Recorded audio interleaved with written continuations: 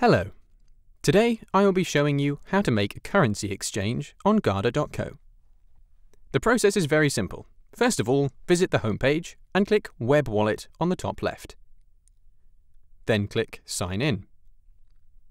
Enter the password that you would normally use to access your wallet and click Unlock. This is the homepage for your wallet. To make an exchange, click the blue Exchange button. Then choose the partner that you would like to make the exchange with. We will be using ChangeNow. Then select the currencies that you would like to exchange from and to. In this example, we will be exchanging Bitcoin for XMR. Then enter the amount that you would like to exchange. And before clicking Next, make sure you check the box to agree with the terms of use. Click Next. Before finalizing the transaction, you have a chance to check all the details.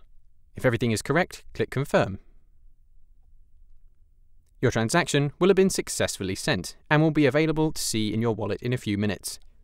Click the Go to History button to see the history of your transactions.